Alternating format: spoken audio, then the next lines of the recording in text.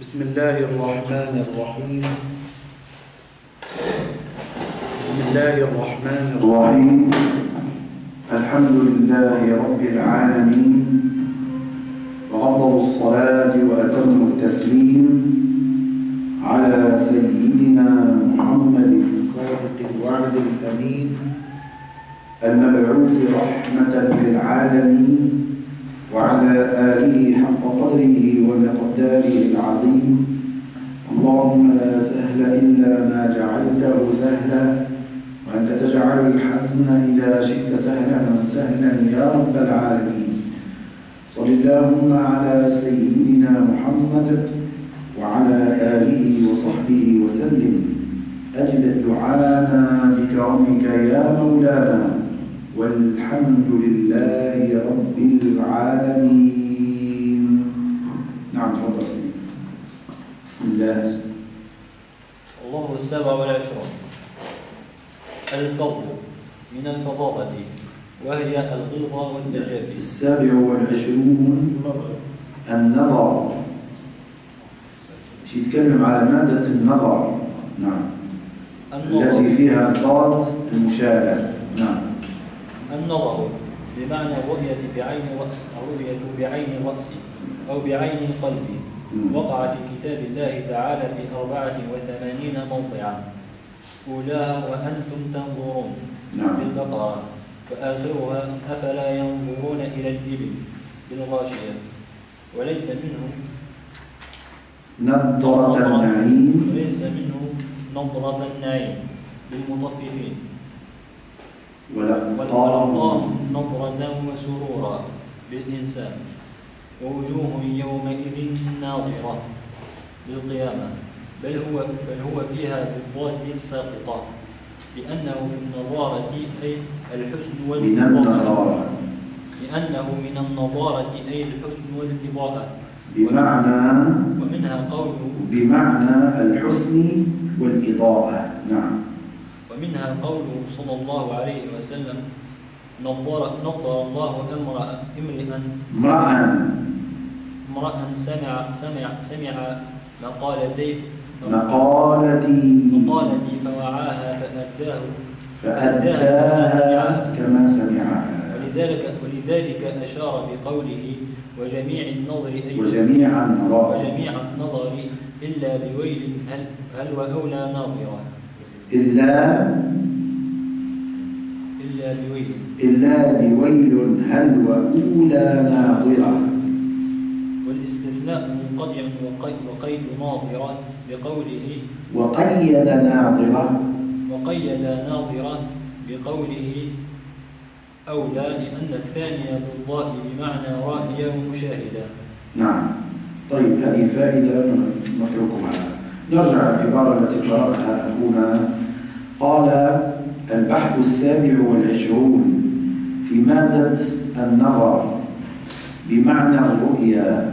عندما يقصد بالنظر يقصد بها الرؤيا بعين الرأس أو بعين بعين القلب يعني رؤية قلبية أو رؤية بصرية. هذا معنى النظر. قال هذه الكلمة وقعت في كتاب الله تعالى يعني ذكرت في كتاب الله تعالى في أربعة وثمانين موضعا.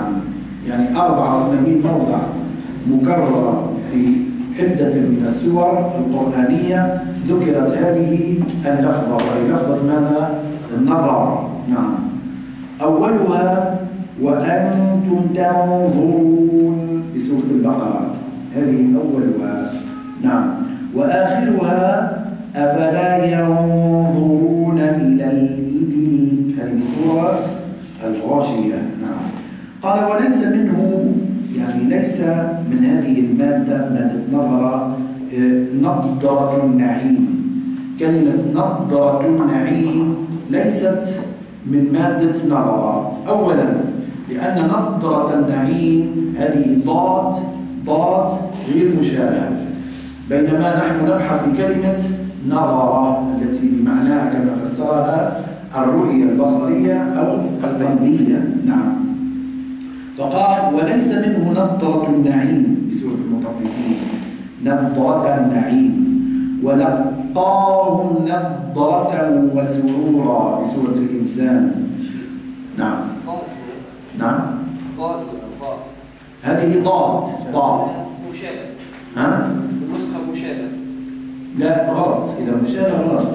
هو قال ليس منه. يعني ليس من لفظة النظر آه، لفظة نظرة النعيم. إذا مخطوطة ألف إشارة مشارة هذه خلط خطأ مطبعي. نعم. قال وليس منه نظرة النعيم لسورة المطففين. كذلك ليس منه يعني من هذه المادة ولقى هذه تنبيهات الحقيقة يعني ينبه. كذلك قال ليس منه ولقاهم نظرة وسرورا بسورة الإنسان. كذلك ليس منه وجوه يومئذ ناظرة هذه بسورة القيامة. قال بل هو فيها بالضاد الساقطة. شو يعني الساقطة؟ التي سقطت منه الألف المشابه يعني الضاد المهملة. هي مش مهملة إذا قلنا مهملة يعني بدون نقطة. إذا قال مهملة يعني مهملة مش منقطة. وإذا قال معجمة يعني منقطة. وإذا قال ساقطة يعني ضاد وليست ضاد إنما ضاد وليست ضاد وليست ضاد ضاء. التي ليس عليها ألف اسمها ضاد. والتي عليها ألف اسمها ضاء. بالهمس نعم. قال هنا بل هو فيها بالضاد الساقطة لأنه من النضارة. يعني هذه الآيات التي الكلمات التي ساقها في يعني سياق آيات الكلمات قال هي من النضارة بمعنى الحسن والإضاءة. الحسن والإضاءة وجوه يومئذ ناضرة يعني حسنة ومضاءة يعني منورة كما يقال كما يقال. قال ومنه قوله أو ومنها من هذه الكلمات قوله صلى الله عليه وسلم نضر الله امرأ سمع مقالتي فوعاها فأداها كما سمعها هذا حديث صحيح.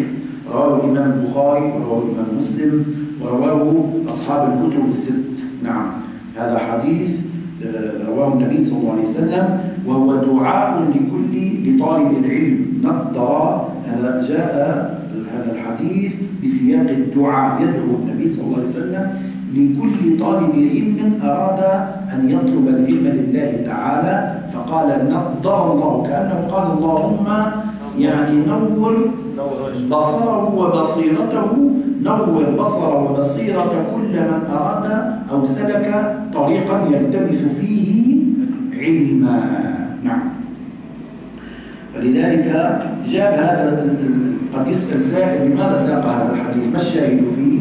الشاهد فيه أن كلمة نضر هذه من النضارة وليست وليست من النظر التي بمعناها الرؤية البصرية أو القلبية. نعم. ولذلك أشار بقوله وجميع النظر إلا بويل هل وأولى ناظرة. والاستثناء منقطع إلا هذا مش موصول الاستثناء وإنما هو منقطع. نعم. هذه مسألة نحوية. نعم. وقيد ناظرة بقوله وأولى لأن الثانية بالضاء بمعنى رائية ومشاهدة. إذا بالضاء يعني المشاهدة بمعنى النظر المقصود بها. نعم. كمل يا أخي. اللفظ الثامن والعشرون فائدة. فائدة. قال الإسقاطي مادة النظر والانتظار والإنظار متحدة في أصل اللغة والاختلاف إنما هو بحسب بحسب الأبواب وإنما ضايع المصنف بينها للإيضاح نعم. شوف قال هنا في هذه الفائدة؟ قال الإسقاطي أحد العلماء قال مادة النظر يعني إذا فتحت على هذه المادة في قاموس من قواميس اللغة العربية مثلا كتاب مثلا لسان العرب أو كتاب المصباح المنير أو مختار الصحاح إذا فتحت تريد أن تفهم معنى هذه الكلمة. فتجد تجد أول كلمة نون ثم ظا ثم راء هنا ظا راء فقال هذه المادة بحد ذاتها نظر هو يجيب لك جميع أنواعها الصرفية. نظر وانتظر آه، وأنظر فهي متحدة في الكلمات في من حيث الكلام نفس الحروف. هذا معنى متحدة يقصد به ولكنها تختلف في المعنى. يعني نظر غير أنظر؟ غير آه، يعني آه، انظر نفس الحروف. نعم. ولكنها ليست متفقة في المعنى. هذا معنى الكلام. قال متحدة في أصل اللغة والاختلاف إنما هو بحسب الأبواب وإنما غاير المصنف بينها للإيضاح. يعني المصنف غاير بينها وباعد بينها. ليش؟ من أجل ماذا قال؟ حتى يوضح أن هذه الكلمة ليست بمعنى تلك الكلمة. كل كلمة لها معنى خاص وإن كانت متفقة في الحروف. نعم. أنت كما الأخير؟ الثامن والعشرون. أيوة. الغير. نحن أخذنا السابع والعشرون اللي هو مادة النظر. شنو ندخل في الثامن والعشرين أو الثامن والعشرون؟ ماذا قال؟ الغير. الغير. هكذا نقرأها. الغير. الغير. لا بدها مساج الغير الغير تمام. وهو شدة الغضب. نعم. وقع في ثلاثة وعشرون وعش... ثلاثة عشر موضعا نعم. أولاها قوله تعالى عضوا عليكم الأنامل من الغيظ. عضوا عليكم الأنامل من الغيظ. قلها عض عضوا عليكم الأنامل من الغيظ. نعم. وآخرها تكاد في تميز آل عمران. هذه نعم. نعم. وآخرها تكاد تميز من الغيظ. من الغيظ بين الضاء نحن الشاهد في الضاء كنت ما بيناش تكاد تميز من الغيظ. نعم. بالملك. سورة الملك. لا لفظ الرعد من قوله تعالى وما تغيق الأرحام. أيوة.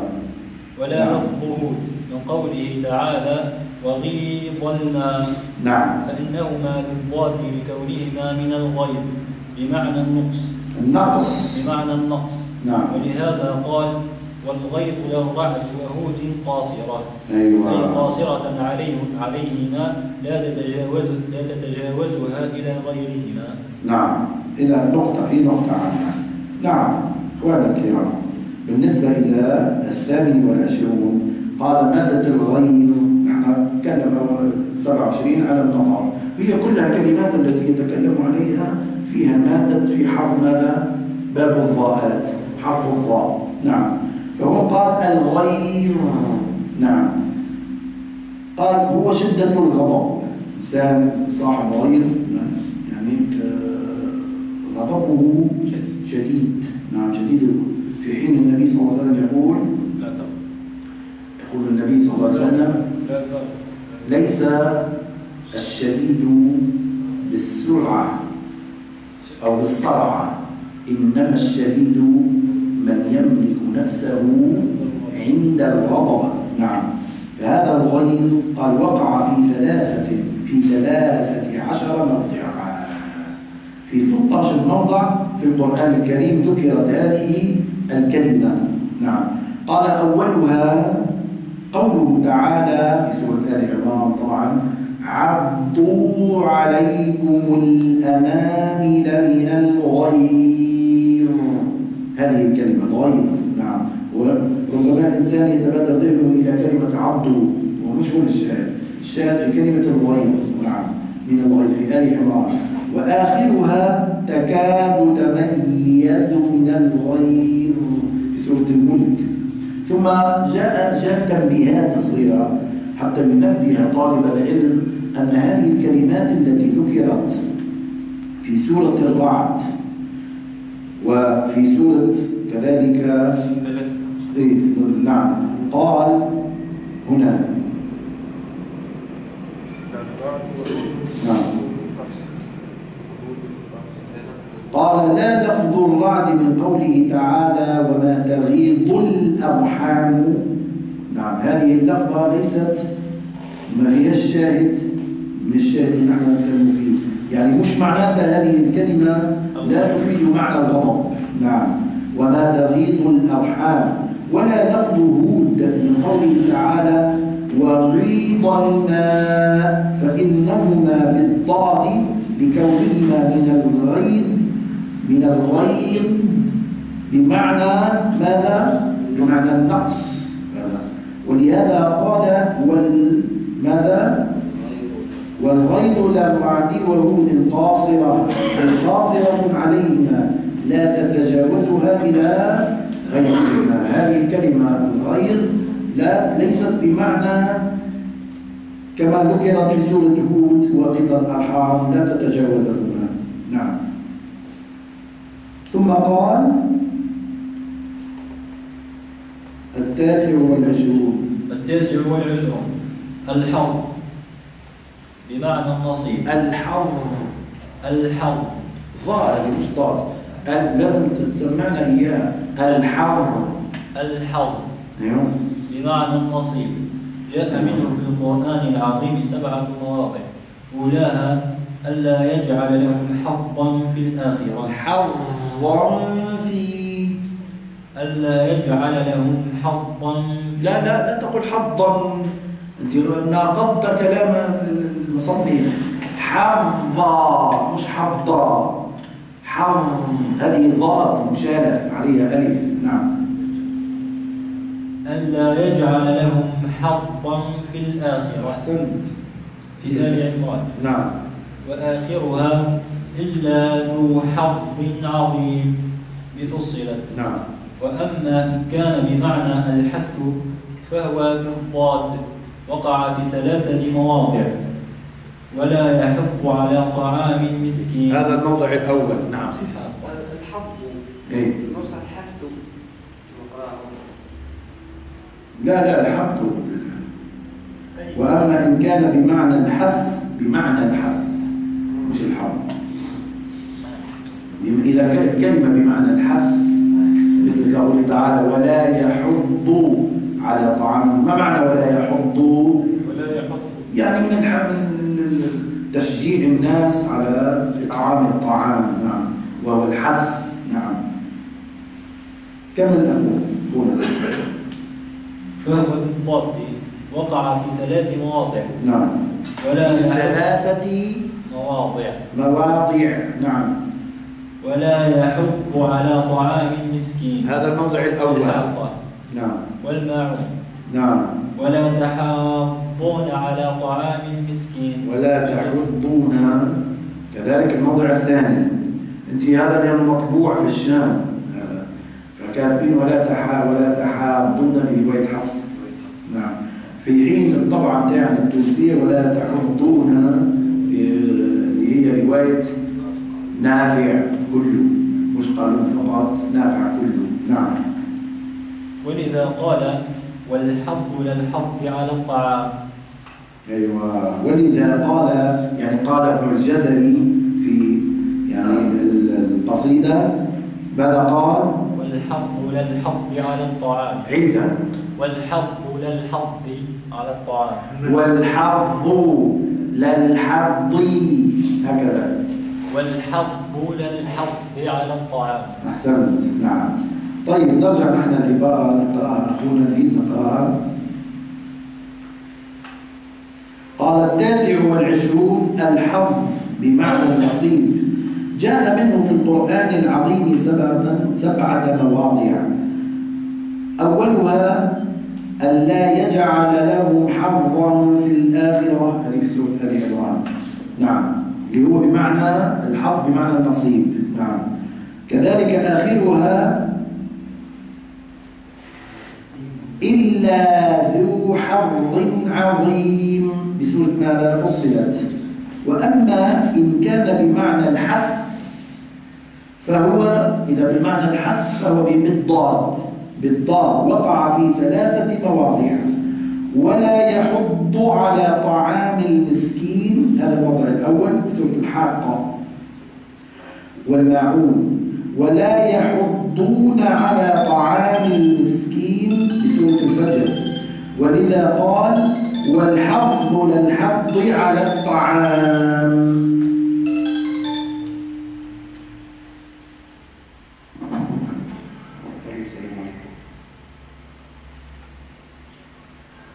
نعم نعم أنا موجود في الوردية.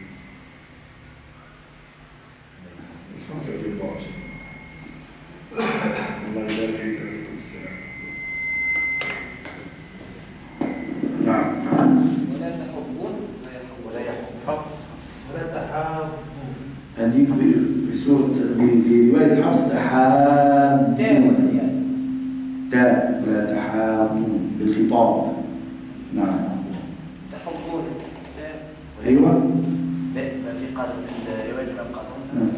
بالغيب ولا يا يحضون المدني هذيك نعم. قال وأما إن كان بمعنى الحث فهو بالضاد وقع في ثلاثة مواضع ولا يحض على طعام المسكين في الحاقة والماعون ولا تحضون على طعام المسكين بالفجر. ولذا قال ولا يحبون لا مش يحضون تحضون بسورة ال- الفجر. وتأكلون التراث أكلا لما وتحبون المال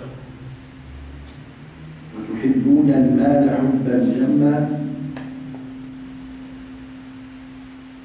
قبلها إيه قبلها. يعني. على كل نسير هذه تتصلح مش مشكلة.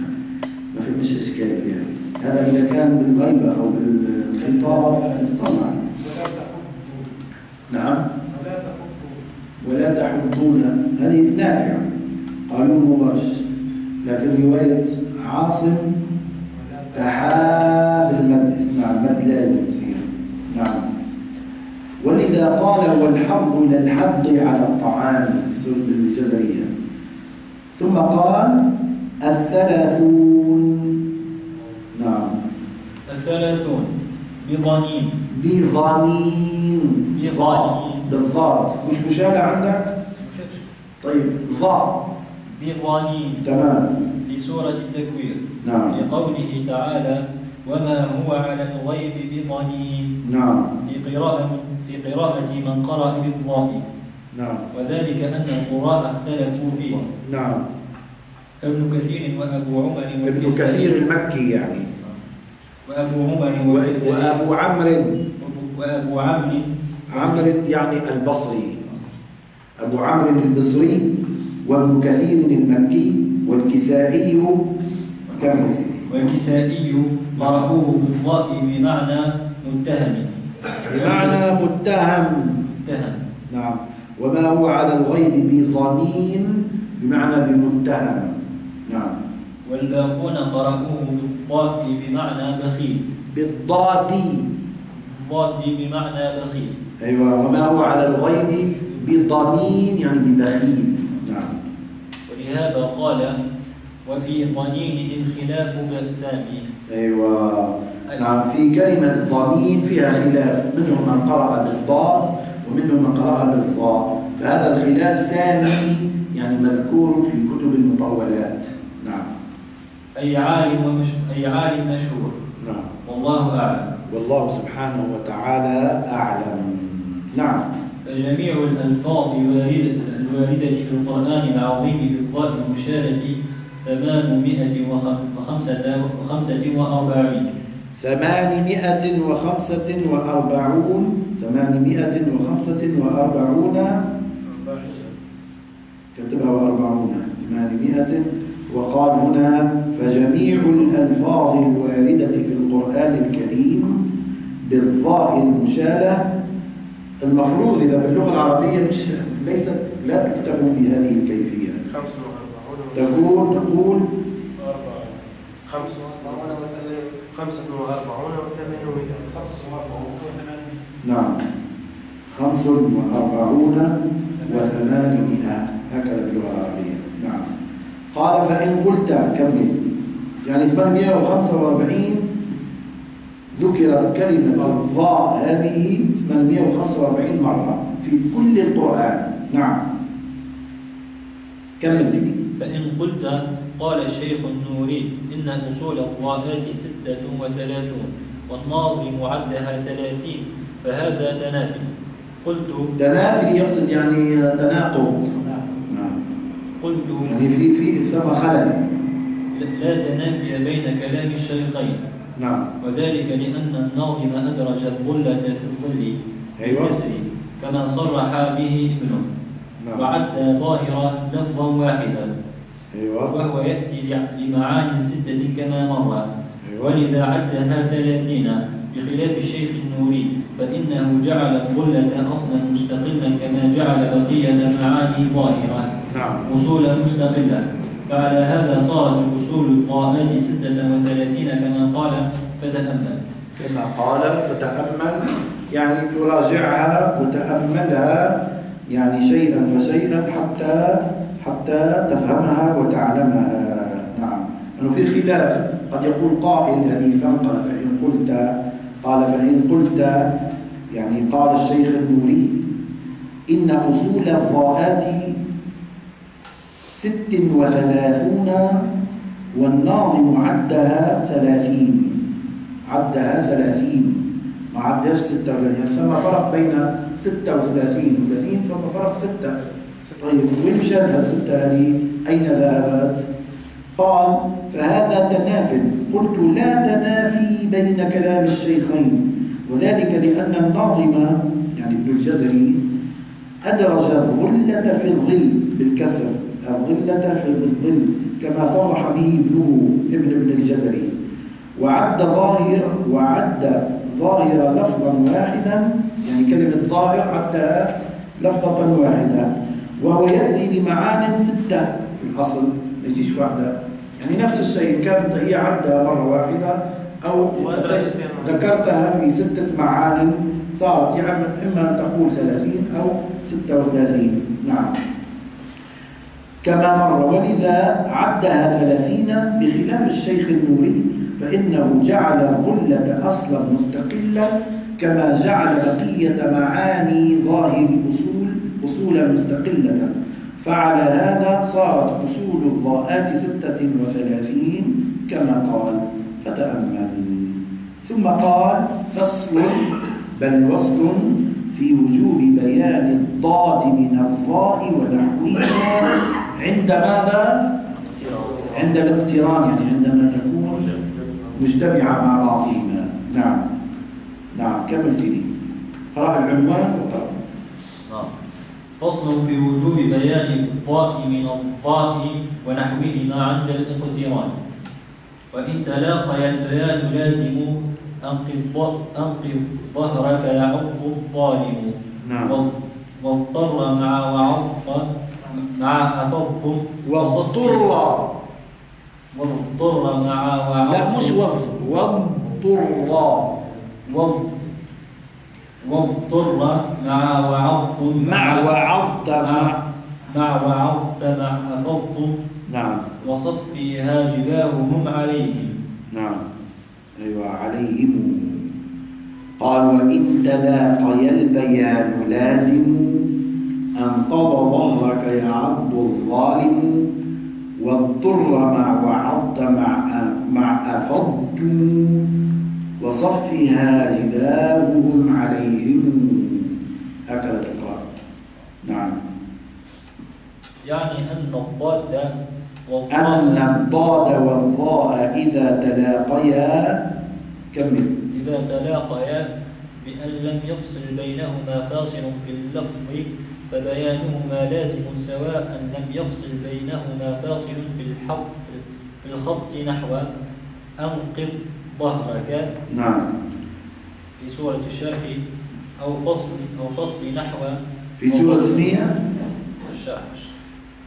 أنقض ظهرك. نعم. أنقض ظهرك في سورة الشرح. نعم. أو أو فصل. نعم. يعني مفصولة. نحو ماذا؟ نحو يعض الظالم نعم. في الفرقان لئلا يختلط أحدهما بالآخر. نعم. بأن يبدل الضاء بالضاد بالضاء أو العكس فيفسد فيفسد المعنى. فيفسد المعنى. فيفسد أو فيفسد المعنى. يفسد القارئ المعنى. إما أن تقول يفسد يعني يفسد القارئ المعنى أو يفسد المعنى. المعنى يصير ماذا؟ ما يعرف المعنى شيخ إبراهيم. ها؟ لا يفسد يفسد المعنى. يفسد المعنى فاعل. نعم. إذا قلنا يفسد يفسد المعنى. مفعول به ها؟ يصير مفعول به مش نافع. يفسد يعني فاعل مستتر. يفسد هو يعني القارئ يفسد القارئ المعنى. فالقارئ يصير ماذا يعربه فاعل. والمعنى مفعول به. منصوب وعلامة نصبه. الفتحة المقدرة على آخره منع من ظهورها التعذر. نعم لأنها ألف. تعذر. نعم. كمل سيدي. فتبطل فتبطل به الصلاة كما هو. شايفين يا جماعة الكرام تبطل به الصلاة. شوف. فما بالك من يقول ولا الضالين؟ ما رأيكم في الفاتحة. عندنا ليس عندنا. من أنتم؟ ها؟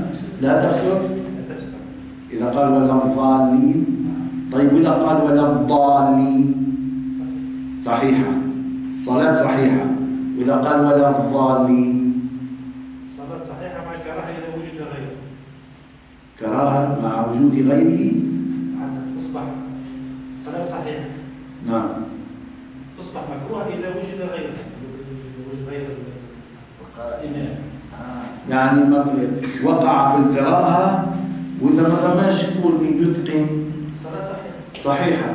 ما شاء الله. والله هذه مسألة تحتاج إلى تدقيق ومراجعة. إذا إذا هو يقرأ الآيات هذه أنقض ظهرك. هذه مش في سورة الفاتحة. هذه في سورة الشرح. ما ولا؟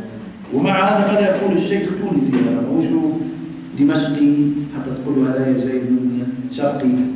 نحن توانسة مغاربة نعم هكا ولا؟ هذا من يالوشة تونسي ماذا يقول؟ فتبطل به الصلاة.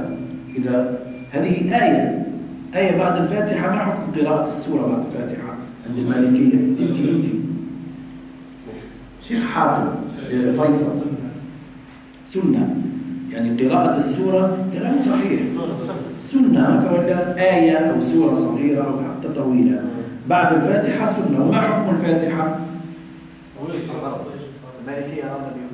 بالوا- بالوجوب. يعني الواجب قريب من الفرض يعني. شو الفرق بين الواجب والفرض يعني؟ أمر بسيط. المهم يعني واجبة. هكا ولا؟ طيب. إذا قرأ سورة أو آية بعد الواجب جاب السنة وأخطأ في السنة لماذا أفتى الشيخ ابن يلوشة بالبطلان؟ شيخ نعم. في في المذهب السادة الشافعية. ها؟ المذهب الشافعية يعني. هو يقول. هو يقول المذهب الشافعية. نعم. أما في المذهب المالكي؟ صح تصح. لكن كان الكراهة إذا وجد مع غير ال- ما عندناش شكون ينقل ضال مثلا. نعم. وجابوا واحد ينقل لما كان لقينا ما خير منه نحطوه حطوه هو ما يخليش. المذهب المالكي نعم نعم مذهب الشافعي يعني نحن نحكيه كمسألة نحن نحكيه طيب كمل سيدي فتبطل به الصلاة كما هو مذهب السادس الشافعية ومنهم الناظم يعني منهم الناظم هو شافعي المذهب نعم وقول لنا في المذهب المالكي ها، في قول المذهب المالك وقول لنا في المذهب المالك نعم. ووجهه أن نحو قوله تعالى ولا الضالين في سورة الفاتحة. نعم. إن قرئ بالضاء المشارة كان معناه الدائمين وهو غير مراد الله تعالى كما هو بين وإذا قرئ بالضاد الساقطة كما هو الصواب كان معناه المائلين عن الهدى وطريق الحق. نعم. وذلك مراد مراد مراد الله عز وجل. أيوة.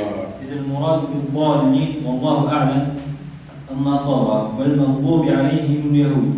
لقوله تعالى في اليهود قوما غضب قوما غضب الله عليهم. في سورة المجادلة. بقوله تعالى في اليهود قوما غضب الله عليهم. قوما ولا قوم؟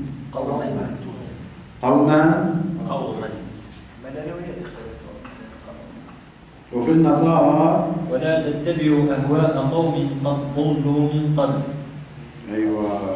طيب نرجع نعيد العبارة. قال يعني أن الضاد والظاء إن إذا تلاقيا بأن لم يفصل بينهما فاصل في اللفظ فبيانهما لازم سواء لم يفصل بينهما فاصل في الحظ في الخط نحو أنقض ظهرك. هنا ما الشاهد في هذا؟ أنقض ظهرك. لم يفصل بينهما فاصل. أنقض ظا أنقض ظا فمش فاصل بينهما؟ نعم. كيف يكون الفاصل؟ بحرف أو حرفين الفاصل. بل هنا لا يوجد لا حرف ولا حرفين. بعد الضاد مباشرة جاءت حرف الضاء نعم. فلذلك قال بأن سواء لم يفصل بينهما فاصل في الخط نحو أنقض ظهرك أو فصل نحو يعض الظالم. أين الفاصل هنا؟ الألف واللام بتاع الظالم. نعم. يعض الظالم. لئلا يختلط أحدهما بالآخر. نعم. بأن شنو عندكم الكلمة؟ مطبوع سهل الكلمة عندي. بأن لا يختلط. يبدل. عندي يبدل. أنت اختلط؟ يعني يبدل نفس الشيء. قال بأن يبدل الض أو يبدل الضاد بالضاء. نعم. يعني في عود ينطق الضاد ينطق ماذا؟ حرف الضاء التي عليها ألف. أو العكس في عود يقول ضاء يقول الضاء نعم. أفلا ينظرون؟ كثير من القراء يقول أفلا ينظرون؟ ما هي اللفظة اللي ضبطتها الآن؟ ضاد وهذا غلط غلط فاحش هذا لحن أفلا ينظرون إلى الإبل كيف خلقت؟ الصواب أفلا ينظرون إلى الإبل نعم أو بالعكس قال قال فيفسد المعنى. المعنى يفسد إذا قلت ينظرون. إلى أيوة. إلى ربها ناظرة. يقول وجوه يومئذ ناظرة إلى ربها ناظرة مثلا تغير المعنى. نعم. قال فتبطل به الصلاة كما هو مذهب السادة الشافعية. ومنهم الناظم اللي هو الإمام ابن الجزري رحمه الله تعالى. وقول لنا في المذهب المالكي يعني يوجد قول في المذهب المالكي بهذا بهذا الحكم. نعم. قال ووجهه أن نحو قوله تعالى ولا الضالين. إن قرئ بالضاء المشالة كان معناه الدائمين وهو غير مراد الله تعالى كما هو بين. وإذا قرئ بالضاد الساقطة كما هو الصواب كان معناه المائلين عن الهدى وطريق الحق. وذلك مراد الله عز وجل. إذ المراد بالضالين والله أعلم النصارى وبالمغضوب عليهم اليهود لقوله تعالى في اليهود من غضب الله عليهم وفي النصارى أنتم كاتبين قوم غضب الله عليهم؟ قوما أنا عندي من غضب الله عليهم في سورة المائدة. من غضب الله عليهم نراجعها إن شاء الله. ثم قال وفي النصارى ولا تتبعوا أهواء قوم قد ضلوا من قبل. قد ضلوا من قبل على من أدغم الدال في الضاد قد قد ضلوا قد ضلوا من قبل. نعم كمل أخي نعم. قال حكم شنو إيه قال في قول مثلا المالكي بالبطلان. إيه؟ قول يوجد قول واحد لكن الم- الم- المفتى به أن الصلاة صحيحة مع الكراهة تصح الصلاة مع الكراهة. وعلى فكرة الإمام الشافعي آه، دقيق جدا في أحكام الصلاة عنده دقة عظيمة جدا خاصة في سورة الفاتحة يوجد أربعة عشر شدة يجب أن تأتي أربعة عشر شدة يجب على القارئ أن يأتي بها فإن اختل بواحدة من هذه الشدات الأربعة عشر بطلت صلاته ما رأيكم دار فضلكم هذا بالنسبة لمذهب الإمام الشافعي رحمه الله تعالى. تفضل سيدي كمل واعلم أن أصح الأقوال في ذلك عندنا معاشر المالكية صحة مطلقة. أيوة. أي صحة صلاة اللاحن جائز ومنهم من لا يميز بين الضاء والضاء وصلاة من خلفه إن كان إماما س- سواء لح- لحن لحنا جليا أو خفيا بالفاتحة أو غيرها. لكن مع الحرمة إن وجد غيره ممن يحسن القراءة وإلا فالكراهة يعني يعني إن وجد رجل من أهل العلم والفقيه وقارئ وهو متقن للقراءة في حين لم يتقدم أو لم يقدموه للصلاة هو لأنه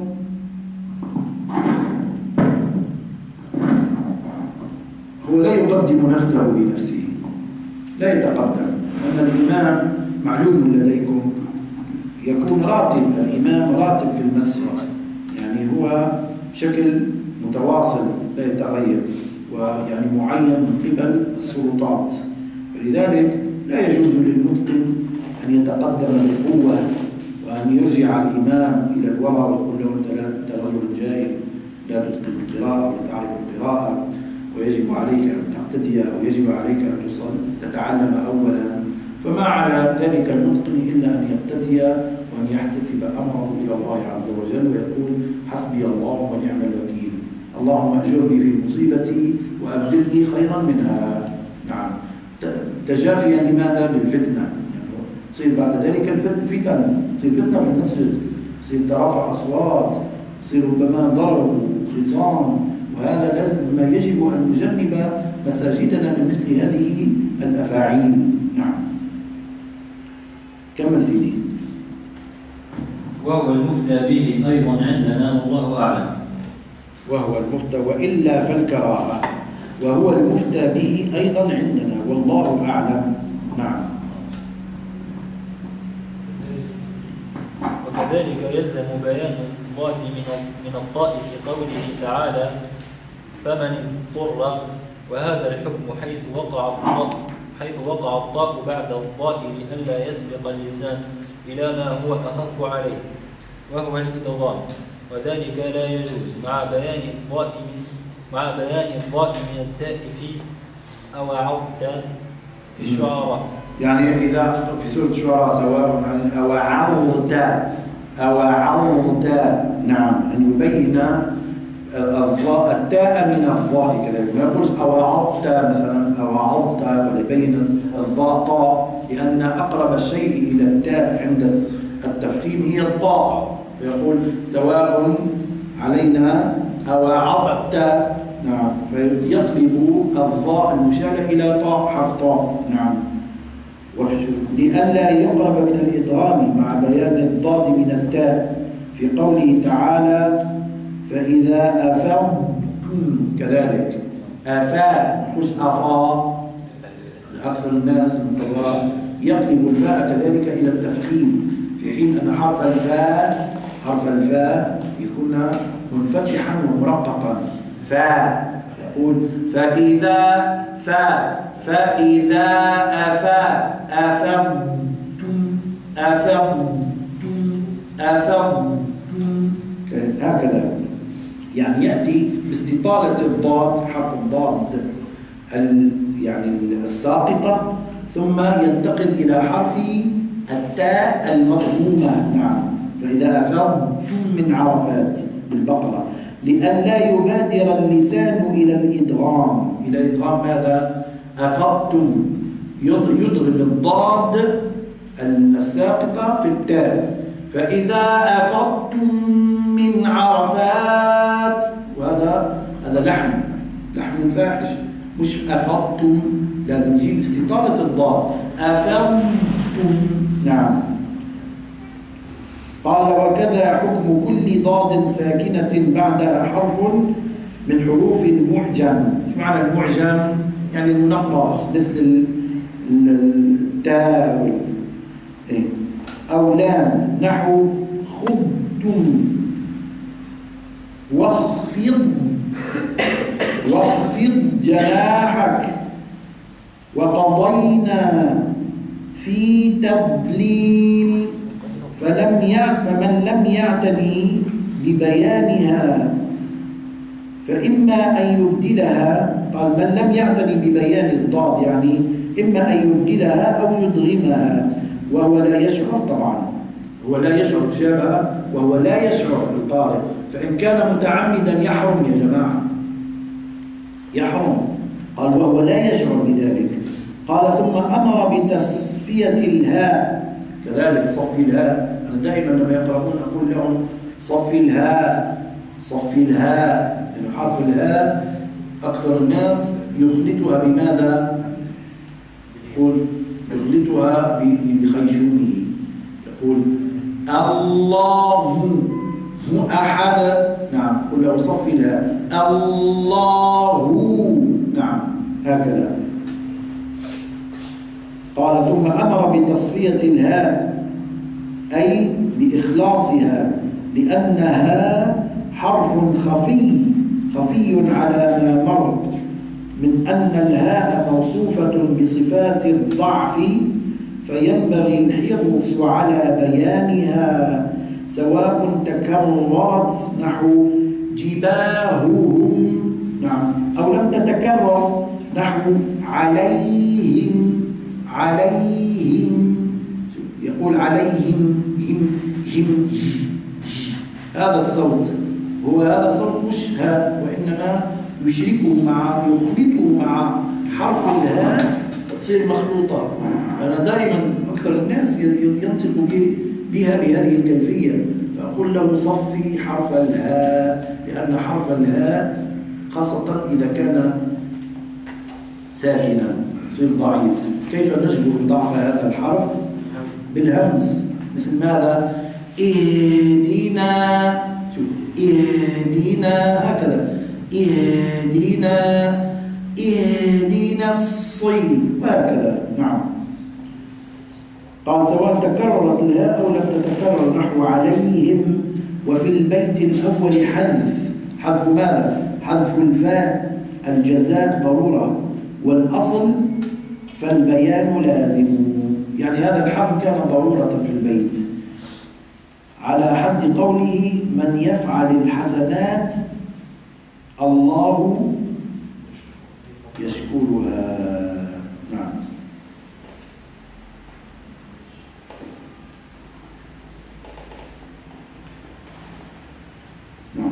الدرس هذا هو يعني إخواننا يعني الكلمات خاصة الضاءات التي ذكرناها في الدرس الماضي وكملناها اليوم. هذه يعني تحتاج إلى تشجير ما معنى تشجير؟ يعني الواحد بينه وبين نفسه في البيت يشجرها. يعني الضاءات التي ذكرت في كلمة الظلم والكلمات الأخرى. وحتى تكون معه بشكل واضح وملخصة في فكره وفي عقله نعم. يعني قراءتها هكذا لا تكفي بالحقيقة الأمر لازم أنت لما ترجع للبيت تشجرها نعم. قال ثم ثم باب جديد باب ثم قال باب الميم أو الميم والنون المشددين والساكنين والتنوين. باب الميم باب إما أن تقول باب الميم والنون المشددين والساكنين والتنوين أو تقول باب الميم والنون المشددين والساكنين والتنوين. نعم هذا عنوان بحث جديد. ماذا قال؟ وأظهر الغنة من نون ومن إلا ما شدد. نعم. يكفي هنا إن شاء الله. والحمد لله رب العالمين. ما شاء الله. في الأسبوع القادم نبدأ باب الميم.